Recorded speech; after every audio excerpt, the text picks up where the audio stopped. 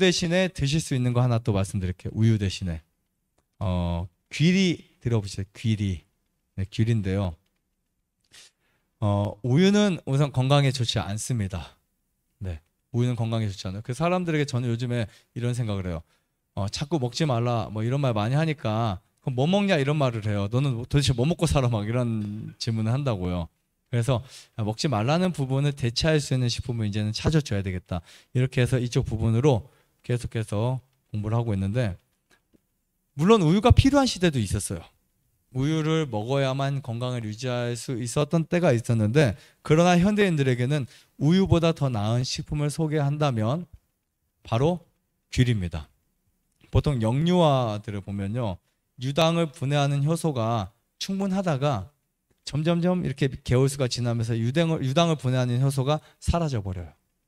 그러니 아이들이 아닌 어른이 우유를 먹게 되면 어떻게 될까요? 배탈이 나는 거예요. 느끼든 못 느끼든 아니면 체질이 알레르기 체질이 되고 산성 체질로 바뀌는 겁니다. 이렇게 해서 생기는 질환을 뭐라고 할까요? 생기는 병을 네, 유당 불내증 혹은 저당 불내증이라고도 합니다. 아시아인들은 이 현상이 90% 정도가 갖고 있어요. 자, 귀리를 보면 대용해서 먹을 수 있는 식품 귀리는 세계 슈퍼푸드에 포함되어 있고요. 그 다음에 우리가 보통 요즘에는 알려진 게 다이어트 최고의 식품이다 이렇게 알려져 있어요. 귀리가 되게 딱딱해요. 곡식 중에서도 별 맛이 없는 거잖아요. 그래서 이거를 어 서구나 유럽 그쪽에서는 이걸 식사 대용으로 되게 많이 먹었거든요. 어떻게 해서 먹었을까요? 기르를 빻아가지고 압착해서 오트밀이라고 하는 거 있죠. 오트밀이 귤인 거예요. 그걸 가지고 두유를 넣어서 드시면 돼요. 두유. 콩을 갈아 가지고. 그러니까 두유를 어떻게 어떻게 맛있게 먹을 수 있냐면 콩을 쪄요. 근데 너무 많이 찌면 약간 된장 냄새 약간 비슷하게 나요. 그래서 별로 맛없고 콩을 살짝 담궈 놨다가 물에 삶아서 그 믹서에다가 올리브유를 좀 넣고 때로는 캐슈넛을 좀 넣고 소금을 넣어서 다 갈아 떠 먹으면 정말 고소해요. 그래서 거기에 오, 이 오트밀을 섞어서 먹으면 정말 맛이 좋을 뿐 아니라 영양에도 너무 좋다 이렇게 보시면 될 것 같습니다. 단백질 함량이 매우 높아요. 그래서 근육 발달과 체지방 조절에 매우 용이합니다. 그리고 이 귀리가 섬유질이 정말 풍부해요. 근데 대부분 곡식들이 다 그래. 곡식들이 풍부해요. 그래서 우리 몸의 장은요, 섬유질이 충분해야 돼요. 섬유질은 장내의 음식의 소화, 소화 시간을 조절해 줍니다.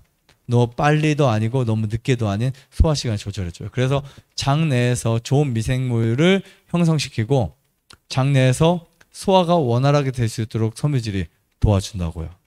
또 귀리 안에 그 내용을 보면 이 베타 글루칸이라고 하는 이 성분이 혈당이 급격히 올라가는 것을 막아줘요. 흰 쌀을 먹으면 혈당이 쫙 올라갑니다. 근데 귀리를 먹으면 그렇게 빨리 안 올라가요. 그래서 당뇨가 있는 분들, 당뇨가 너무 심해서 도대체 뭐 먹지 이렇게 고민하시는 분들은 전 귀리 추천드리고 싶어요. 그리고 오트밀 정말 좋은 것 중에 하나가 아토피. 아토피가 있을 때 그 오트밀은 이미 빠졌잖아요. 그거를 물에 담가서 그 뿌연 물, 그 물을 발라주면 숲에 뿌려주면 정말 좋아요. 그런데 볶는 것은 최대한 산화주의. 네, 산화주의하세요. 항상 산패주의하세요. 볶는 것은. 그리고 가급적 네, 바로 먹기 전에 이렇게 많은 양을 볶아 놓거나 이런 거는 좋지 않을 수 있습니다.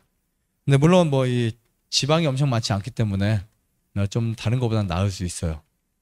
자, 그 다음에 어 이, 이 귀리 자체 갖고 있는 그 단백질과 수많은 성분들이 여러분들 면역 체계를 강하게 할 수 있어요.